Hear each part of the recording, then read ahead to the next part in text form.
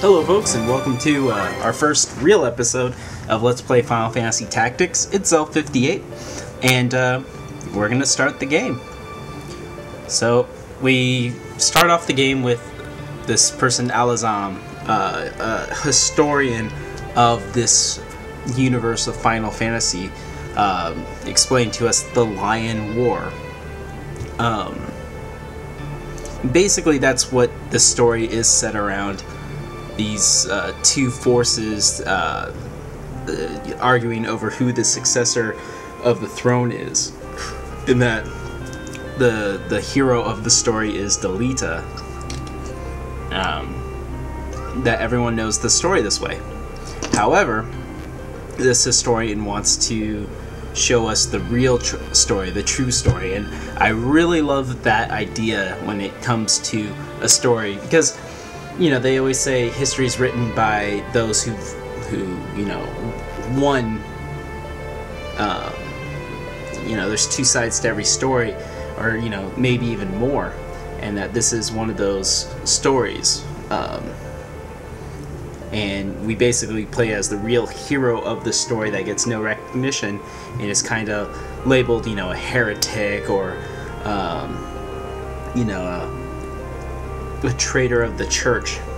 So I really, I really love that idea of things. That's, in my opinion, very outside of the box and and just I really appreciate stuff like that. I mean, you usually play as a thief or a rebel or something trying to stop an empire, but this just had a different feel to it. Um, so, with with that said, we get to basically name our character and. Uh, the his real name through the game is is Ramza, um, but I'm going to name him after me, so he'll be Zell. So I guess technically he's named after, you know, character from Final Fantasy VIII. So maybe I'll have to make make him a monk, just to be fair. Uh, we'll see. But uh, so you get to name your character, and then you get to choose their birth date. And as far as the birth date is concerned, that decides what sign you are. In my case, uh, my birthday is February 22nd, uh, so that makes me a Pisces, and that comes into play not not that big, but uh, it does it does slightly affect how your party plays depending on uh, what signs you play in the game and you know how many males versus females and all that. It has a very little effect, but still a cool idea. Um, since there are a lot of JRPGs out there, they ask for your blood type and your birthday, and you know, like if you like chips or sushi, crap like that. Um, and you don't really see that affect the game at all. Um, anyways, so we start the game for our like only cutscene in the entire game, which makes no sense at all. Um, you know, we're going through the countryside, kind of reminds me of like Scotland or something like that. And then they, they focus on these like five characters, and I don't know if they're supposed to be the uh, Ramza and uh, the, the party that he's with that are riding through. If so, why doesn't one of them look like Ramza? The Ramza, and or it could be uh, the people that we're about to fight. So I I don't really get it. It's kind of a cheesy cutscene. Um, but, yeah, it is what it is. So, I'll shut up and let you listen to the music. This game has an amazing score. yeah, it must be the Black Lion. So, who does that represent? I think it's our enemies. So I think it's Delita and his team, but I could be wrong. Regardless. Um, this game does have an amazing score, and I'll try to shut up sometimes so you can enjoy it, because I think that sounds a lot better than the sound of my voice.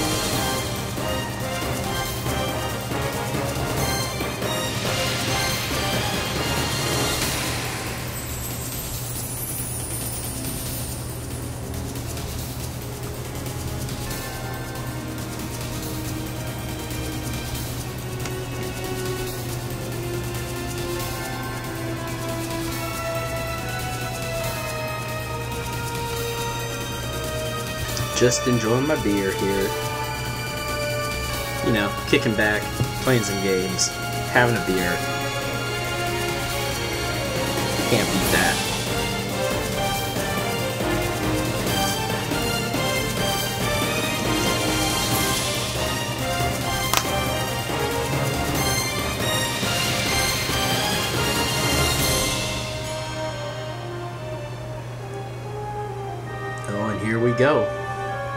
The start of our story.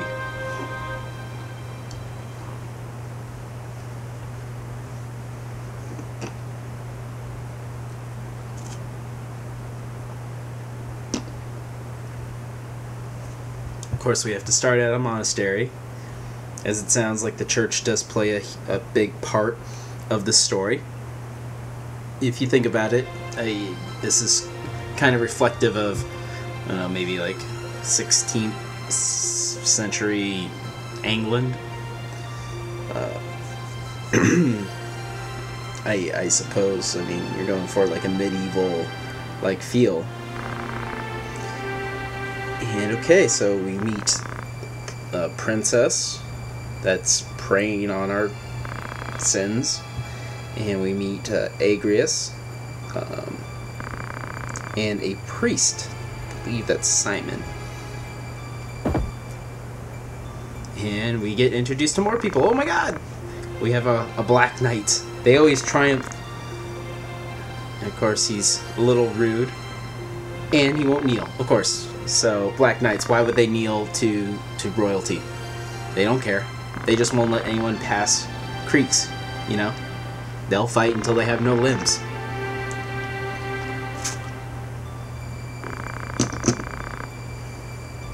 Okay, so understanding the story, we have these mercenaries that are being hired by the royal family for protection. And the princess doesn't seem to really care that much about, you know, the rudeness of these mercenaries. Uh, but Agrias is. Uh, so she has to be, you know, like the the uh, you know, Girl Scout of the group we just get a whole bunch of different names and what is going on. Oh my god. Oh and then okay so Zell there I am or Ramza. Uh, no longer a knight I'm just a mercenary like you. Whoa there. Some crazy stuff must have happened at some point for you to to swear off being a knight and become a mercenary. Either that or you needed some fast cash. You couldn't sell your body. So we get thrown into the first battle of the game, and I I love a lot of things about this game, and I love the the tutorial battle. Nowadays, you play a tactics game or any game, and they run you through like a 30 minute like you, know a, a training course and a lot of the stuff in my opinion is is second nature. Like it'll just pick up a controller and it'll just be like okay so this does that that does this okay good good okay let's go. And now there's you know like i said 30 minutes of you know try moving forward. Okay well duh like you just press up. Maybe i mean it's not that obvious anymore but you know this one they just kind of throw you into it they don't say, press this to go here, do this to do that, blah, blah, blah, blah, blah. It's just like, you're in battle, good luck, sink or swim. Now, they, they do make it a little easy because you can only control the main character and everyone else is AI controlled. Um, but it, th this battle's hard to lose, but you could still lose it. It's like, I guess, possible. I've never tried. I guess if you're attacking your own teammates. So, was that Gaffer Gorian? Gaffer, I I never know names. That's, that's a staple of me. He has Night Sword, which is awesome. It is a unique ability, um, and I really wish everyone could have it. it's uh, you can use it pretty much on every living thing. The only thing that you don't want to use it on are undead things just checking out the abilities. You get them at random for these characters because this battle really doesn't matter. It doesn't really mean anything. Um, and Zell is a squire in this, and he has the Guts ability. So we have Dash, Throwstone, Wish, and Cheer Up. Um, they're all, well, not all of them are crappy, but for the most part, these are pretty basic abilities. We have Throwstone, um, and it's not going to do much damage. Uh, I'll break down things a little bit better later. But as you see, it does 9 damage. It's pathetic compared to a lot of other things, and compared to these other characters. Agrias has the Stasis Sword, and she's pretty awesome too. Um, both those characters, just like, dang it, I wish, wish I could be them. But uh, all in, all in due time, all in due time. So you have, like I said, you have dash, which is just a, it's a basic like if you're right up next to a character, you can kind of hit them and push them, but it won't do much damage, and uh, your attack will most likely do more damage. Um, the only thing it's good for is if they're if they are high enough and you're able to push them off, you could potentially do it with Throwstone and Dash cause a little extra damage, but really those abilities, in my opinion, useless. Um, then you have Wish. Wish is pretty cool. It's a it's a way to heal an ally, not yourself, but an ally. And like, let's say you do 20 HP uh, healing, you'll take 10 damage. So it's it's a decent like first ability. Like you know, oh this guy's gonna die. We want to give him some help because this character has plenty. Um, that was interesting. But Rad, who is always you know one of the playable or not playable, one of the characters. He uh, he had some. Uh, he had the Paralyze ability, which is an Oracle ability. I'll get into that. I know I'm insulting with all these things. Oh my god. Um, he normally he normally has fire. Looks like Gaffriginian, Gaffragon. Uh, he has the fire ability. Anyways.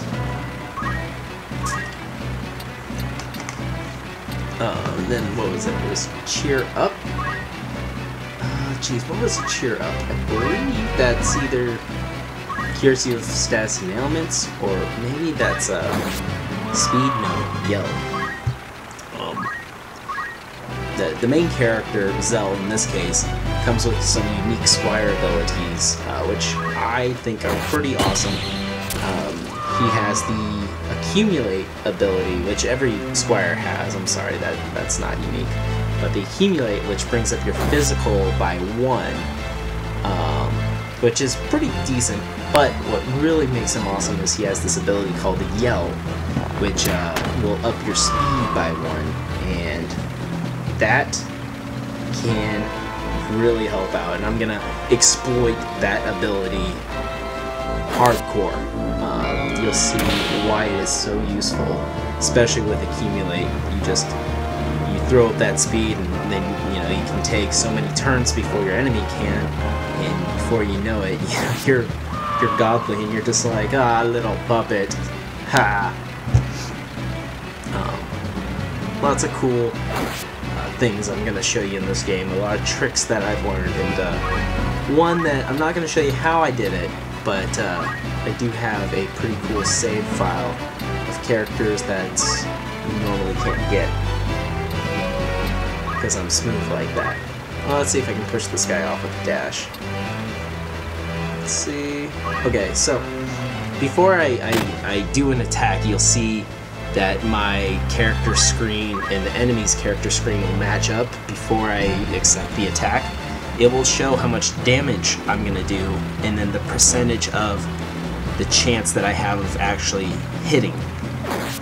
Um, that will come into play uh, a lot in the game, and I mean, that's why it's so tactical. That's what makes this game so fun. Is you know sometimes you just have to roll the dice and hope that your ability connects. Let's see here. first couple of fights, we won't really have the, the chance of selecting, you know, yeah, what uh, what type of party we have, or know what abilities they'll have. So I won't be able to build my roster just yet, so you still have a little time to, to be added to the roster if you still want to. Alright, so we finished the battle, and it looks like the princess is being kidnapped, or grabbed, or hugged, or I don't know. Okay, by a knight. Why oh, should I listen to you? Because I'm kidnapping you, fool! Oh yeah, you punch her in the gut. What a knight. You wait, sir. blame yourself or God. I blame myself. Oh, God. okay. Alright, folks, well, I have to finish this episode, but next episode, we'll find out more about who that character is. Looks like it was Delita, and uh, we'll learn more about that backstory. Till then, Zell58 saying thank you for watching. Please rate, comment, appreciate. Talk to you later. Bye.